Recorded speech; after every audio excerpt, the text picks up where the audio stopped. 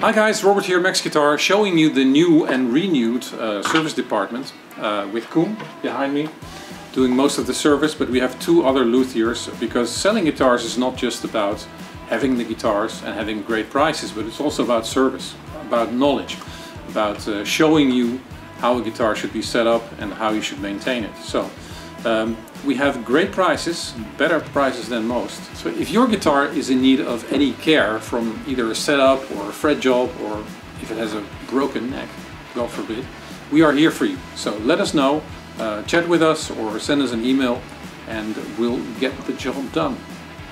Thank you. See you at Max Guitar.